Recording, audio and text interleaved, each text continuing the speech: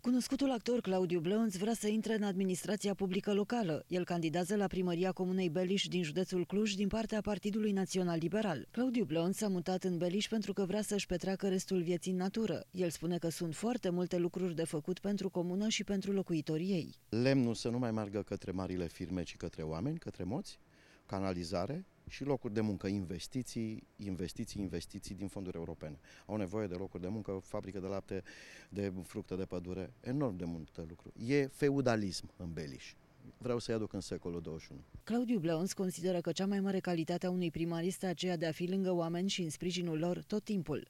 Primarul să nu uită că a fost ales de oameni ca să fie servitor, administrator, nu patron.